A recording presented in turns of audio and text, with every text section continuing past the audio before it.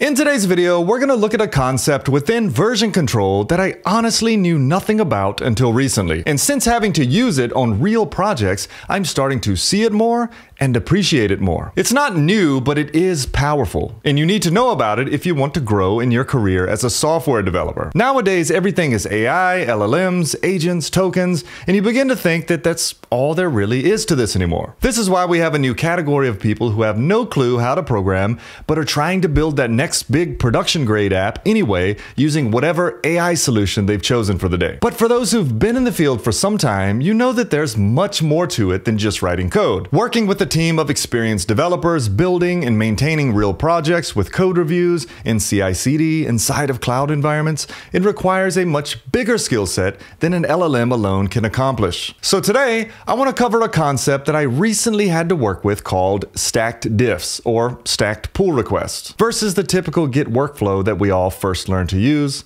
the many benefits of stacking, some hands-on examples, and some new tooling that helps streamline some of the complexities that arise. Let's get started. This video is sponsored by Graphite. More on them soon. So what are stacked diffs? Well, diffs, if you've used version control at all, is simply just changes between two versions of code. Stacked diffs, or you can say stacked pull requests, involve stacking a series of small dependent changes atop one another. Now, why would you do this? Well, let's look at your typical Git workflow. You have a main branch. Say you've been given a task to build a Teams feature, so users can invite coworkers into a shared workspace and it involves three dependent parts. Number one, some backend database stuff like a Teams table, Teams model, whatever. Second, some API endpoints like a post and a get teams. And third, a front end UI section where you list the teams and members. Now, you wouldn't do all of this in a single PR. That's too much for anyone to try and review, and these are different parts of the app backend, business logic, and front end. So you would create at least three pull requests to get it all done. So you create a branch off a main, let's call it branch one. You write some code, and then you commit and create a pull request. At this point, you hope that someone reviews it soon because the next part depends on this part. You can't really start the business logic until you get your backend PR approved and merged. So you're really at the whim of this review in order to continue forward. So you're right here waiting for your PR to be reviewed. Maybe you have to make a few changes after the review, then ultimately for it to be merged so that you can pull the updated code and begin with that next dependent part. If the PRs are independent, then you're fine. But when they depend on something else being merged first, you're at a standstill. Now, what stacked diffs give you is, as the pragmatic engineer put it, the ability to keep working on your main branch and worry about reviews later. You check out the main branch and start working on it, make a small change, and commit this as a diff, or a very small pull request. You then continue working, creating a second diff, and a third diff, and so on. So in this flow, you check out a branch from master. Let's go back to our example to do the backend work. So you check out branch one, you add the DB table, a model. When you're done, you commit it and create the PR for review. But instead of waiting for that to be approved and merged, you go ahead and create branch two off of your work on branch one. You add your API endpoints and you commit that change as a new PR. Note that this will be dependent on the previous and will merge into the previous. You then create a branch 3 off of branch 2, you do your front end UI work, and then commit that as a new PR, which again depends on the previous and will be merged into the previous. So your work here is almost async. You're not held up by PR reviews that can take hours, even days, but you are freed up to continue to the next thing. And you aren't tempted to create PRs that are too big or that include too many parts. With stack diffs, every commit becomes a code review essentially. And you might be like, this sounds complicated and pointless. I'll just stick to what I'm used to. Well, it's one of those things you don't know how efficient it is until you begin to use it regularly and then have to go back to the old ways. I saw a comment recently on one video that said, having worked with stacked PRs at Meta for three years, then moving to a company that doesn't have it, my productivity seemed to halt. Stacked PRs is one of those things you don't realize just how incredibly powerful it is until you've used it and it's taken away. Everything is 2020 in hindsight. Now, before I answer that burning question, question I know you're dying to ask about the potential chaos that can happen with such a model, let me mention this first. Stacked PRs is not a new thing. The idea of stacked diffs originated in open source software development practice where developers would submit a stack of patches for review, but over time it was adopted into internal tools like Phabricator at Facebook, Uber uses this as well, and Critique, which is Google's internal tool for stacked diffs.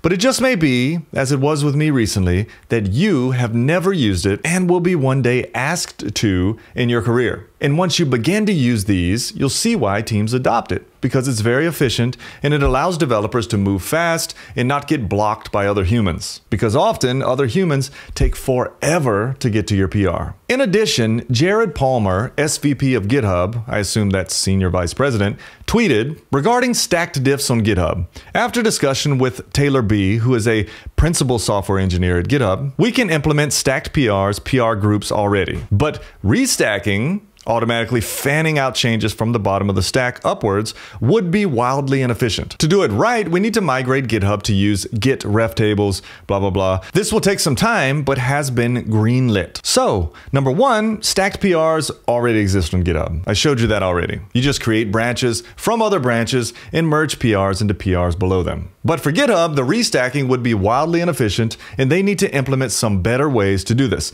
But they have the green light to go ahead. So I see, going forward, the importance of nailing down this concept so that you can be informed. Now, when they say restacking, this is the big question you probably have that I alluded to earlier. In a stacked diff workflow, if you change the bottom PR, say PR1 of 5, then all the PRs above it 2 through 5, need to be restacked or rebased so that their base commits move forward. But you see the downside here. Imagine you have 10 commits stacked. You catch them all up based on the first commit changes, but then branch 2 PR has some changes, and branch 4 has some changes, and you have to again and again catch the parents up by rebasing.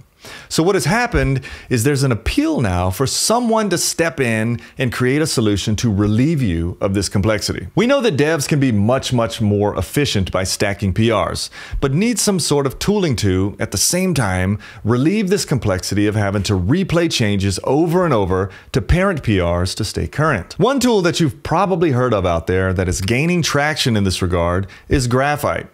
Graphite actually gives you, among other things, commands to restack the entire chain in one shot and automatically updates the corresponding PRs. Here's a sneak peek. Restacked or rebased all the way up the stack with one command. Pretty amazing. Let me show you how this works with Graphite. And by the way, you can try Graphite out for free. Link will be below. First, you install the CLI with Brew or NPM, authenticate to GitHub, and they actually provide you interactive tutorials walking you through how to use the CLI. But let's work through the stacking process again, but this time with the Graphite CLI. We can check out the main branch with GT checkout main. GT is Graphite's CLI tool. And let's make a change to one of our files. And now we need to create a branch and commit these changes. Well, the command gt create will actually do this all for you. So gt create dash a, this will stage any modified files just like the normal all command in git, and then do a dash m and include your commit message. It creates the branch, stages my changes, and creates a commit all in one. Next, we want to push this change or this commit and create a new pull request. Again, this can be all done in a single command with gt submit.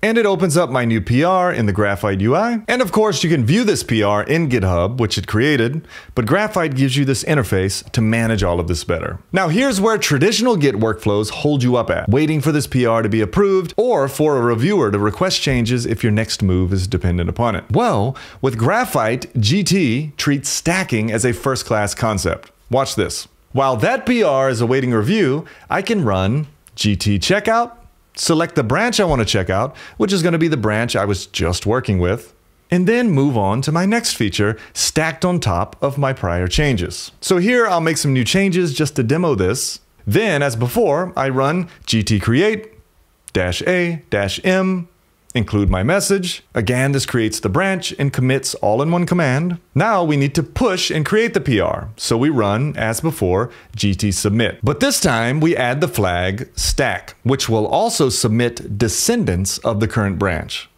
I can view my stack locally with gt log short, or I can open the PR in Graphite with gt PR. Here I can assign reviewers, add labels, see diffs per file, and many other very cool things here that we'd have to focus on in another video perhaps. But the big question is, when that first PR gets reviewed and we have to make changes, how can we efficiently apply or rebase those changes onto our PRs up the stack? Here we just have one, so let me go ahead and create one more stacked PR on top of this. So we have a stack of three PRs, and the very first one on the bottom needs some changes. So let's go ahead and say that on PR1, they wanted the dash out of the H1 and caps letters, just for a simple change. Let's run GT checkout and choose our bottom PR. So let's make the change they suggest, and here's where the magic happens. Instead of having to rebase all the PRs in the stack to include that change you just made at the bottom, you simply run this. And I'll show you the manual commands first and then the big one shot next. So let's do a git add so I can add that file. Then I'll do a git commit and I'll add amend and no edit, which essentially takes whatever is currently staged and adds it to the last commit, but keeps the same commit message. And then here's the magic command that updates the other stacked PRs with this change. No individual rebasing needed. At this point, I just run gt restack, which will restack all the branches above it. And it tells us here, restack the second branch on the first branch and restack the third branch on the second branch. And of course, the first branch doesn't need to be restacked. And if I move up my stack, you'll see these PRs have the change we made in the base branch. And then I simply run GT submit with the stack flag like we did earlier so that it updates all the PRs.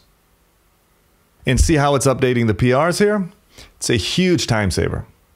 And then as promised, the add, commit, and restack can all be done with the GT modify command. So this command amends this change to the branch and restacks all the branches above it.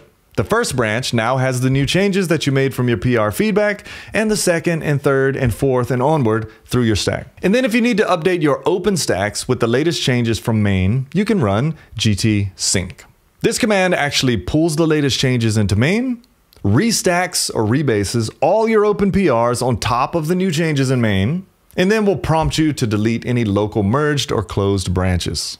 Now, what about merge conflicts? This is probably the next question in your head. It's great that we can restack easily given no conflicts, but what about conflicts? Well, when you run GT restack, if there are conflicts, you'll be prompted to resolve them as you're used to. It will inform you of the conflict, you'll resolve that conflict, stage that file, then instead of doing a git rebase continue, you just run GT continue, and the restack command will continue to work its way through the stack. You can also see this on GT sync as this command also restacks. And then finally, to merge your stack, say it's all been reviewed, it's ready to go, you can run GT top to check out the top PR in the stack, or you can just run GT checkout and choose that top PR. Run GTPR to open up that PR in Graphite, which by the way, again, is just representative of the PR that it creates in GitHub, but gives you many awesome options in one place. And here you can click merge to merge it all. Or if you wanted to, you could just merge the first part or the first and second part, whatever. But in this case, we'll just choose the top PR and have it merge it all. And we're done. And from here, I can run GT sync, which will prompt me to delete my local branches that are now merged and place me on a fresh checkout of main. Now, Graphite offers some other really cool features that are out of scope of this video, like a VS Code extension that lets you create and manage stacked pull requests visually right from your IDE. So this is something I like to do because I like to do most of my Git commands in the IDE with the IDE interface. There's also AI code review, Slack notifications, AI chat, metrics, and many other very helpful features for dev teams. Again, this is free to go and use. The link will be down in the description. Go try it out. So hopefully you now understand the benefit of stacked PRs or stacked diffs. And you can now join in on the conversations and you can create and manage them yourself. I think we'll see much more usage of them, especially when GitHub starts making moves toward a more capable environment for it. If you have any questions about stacked diffs, leave them down in the comments. If you found this video helpful, give it a thumbs up. If you haven't subscribed to the channel, consider doing so, and I'll see you in the next video.